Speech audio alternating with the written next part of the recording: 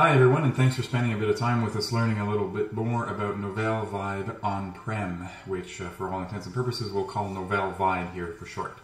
Um, I've been spending a lot of time recently working with customers that are deploying um, Novell Vibe and one of the things that comes up very often is how can we use this to manage our projects? Um, there's several ways to do this. Obviously, you know, there are smaller projects that you can deal with and there are, you know, quite larger projects. Um, so this video will deal mostly with uh, how to manage a small project and how to manage the tasks. So what I've done here is I've set up a workspace, a project management workspace, where we can see you know who the team members are in this workspace. We can see a rundown of the tasks here, which is where you know we'll be spending most of the time on this video, um, learning how to manage the tasks. And also some project statistics, the information box. So for example, who's the manager here? When do we expect this project to be done? Um, all the links to the folders here that we have in our project workspace, which are also available on the left-hand side here.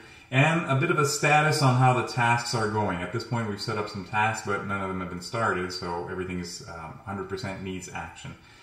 So for smaller projects, what I usually suggest is to use just the task folder that's automatically created when you um, create the workspace. Now, we're looking at Vibe 3.1 at this uh, point, which is uh, just recently released. And one of the things that they've improved a lot is the tasks management. So there's a new look to the tasks folder. Um, there's some new stuff, including subtasks, which for smaller projects is probably the best way to do it. So what we're looking at here is a ZenWorks configuration management deployment. So you know, we're gonna. This is an organization that's going to deploy ZenWorks configuration management on a small scale. So there's several things that need to be taken care of. Some acquisitions. We need to acquire the hardware, software, operating systems. We need to assemble all of that and install the services. We need to plan the deployment. And then finally, we're going to deploy the agent to all the devices. So I've already set up some of the tasks here. But one of the things that's really cool is, for example, in acquisitions, I can have subtasks, right? And then you can see I've assigned them to, to myself here. I'll be taking care of those tasks. So we got to get the quotes for the server hardware. We got to get the approval for the server, order the server. We've got all our due dates here. Um, and one of the things that's cool here is I can, you know, I can change right in here the priority. So I say, you know, before we do anything, we've got to get that ser those server quotes. So this is critical. And I've actually started this. So I'm going to mark this in process. And, you know, I'm going to say it's about 20% done at this point. All right. And one of the things I tell customers to do is if you want to update, if you want to give your manager or keep up to date on what the tasks, you know, where it's at and what, what you're up to, is instead of modifying the task and adding the notes right in the task, I always ask people to leave a comment. All right. So, have requested, uh, let's write it properly, quotes from vendors. All right. And then the advantage of doing it that way by using comments is you have, you know, a date and timestamp and who added the update. So it's very easy for managers and other team members to follow what's being done on those tasks. And once you're done, you can close it. All right. And you can also reorder tasks. So for example, if you know that you're going to order your SLED subscription first, you can just click on that and move it up. Okay. And then you can collapse this task if that's not what you're working on. So assembly and installation, we have to assemble the server hardware and so on, and that's how we create our task list. So for, for small projects or you know on a small scale like this, using just the initial task folder that's created with the workspace and creating subtasks within that, for all intents and purposes, fits the bill, right? It's easy to do uh, and you can follow it easily, everything in one place. Now, you know, we're gonna create a new one here, which, you know, we're gonna call training. And we're going to start that once the deployment is done. So my deployment, let's say, was done uh, in August. Let's say we'll start the training on the 12th. And we want to be all done by, let's say, two weeks from that time. Um, maybe not be critical. And let's say Gary's going to take care of this. And myself. Um, so we're just going to say OK. Now, there are two ways under training that we can create subtasks. The easiest one is to just go right here and say new subtask, all right, and say plan training for admins.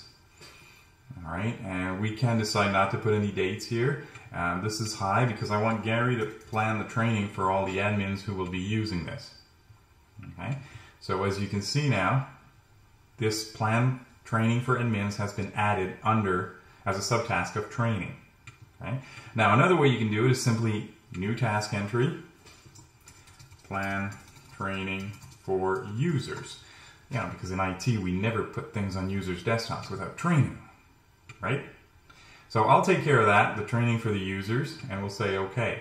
Now, because we added it as a task entry here, it you know it's it's added as a you know first level task, but we wanted to put that under the training. So what I'll simply do is select this and simply move it into the subtask, and it will move as an equivalent subtask under the one above it.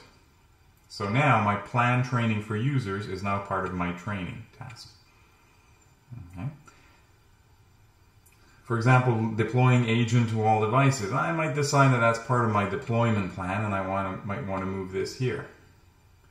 Now, you can also move entire first level task. So I might decide that I'm going to start my training before I even do the deployment. So I can move all of this and the entire hierarchy moves up with it. So this is a great way to work on your on your tasks and manage your smaller projects. Um, we can put in process here, and I've done a lot of the planning. So you know we can do this. The users at one point, um, let's say in process, and we're going to put it at 70% because we've done a lot of it. Now the other thing you might have noticed here is graphs. So you can collapse this, and then you can see a quick status update of all your tasks. All right, so I've got 31%, six entries that are critical, 12 of them are high. All right, so you can see a breakdown of your priorities over here.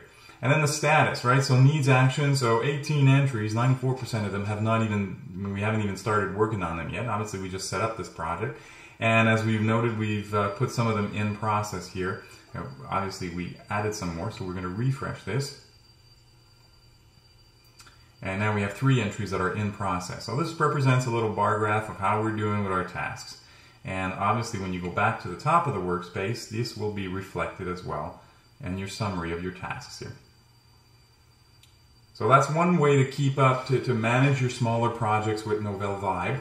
Um, it's a great way you can assign them to whoever is working on the team, uh, which they will then see in their own personal workspace, the tasks that have been assigned to them. You can uh, also obviously use your calendar and, and, and, put in some meetings and stuff like that. Milestones we'll look at in another video where we talk about managing larger projects which may have multiple task folders.